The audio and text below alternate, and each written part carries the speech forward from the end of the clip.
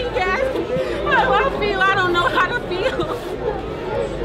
Cause it's so sad, bro. This man was literally right here, 8 o'clock p.m. yesterday.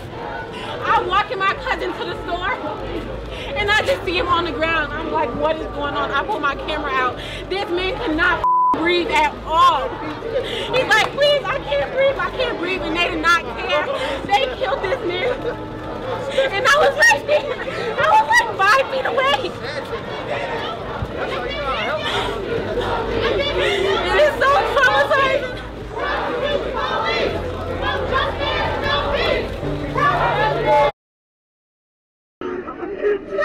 Entertainment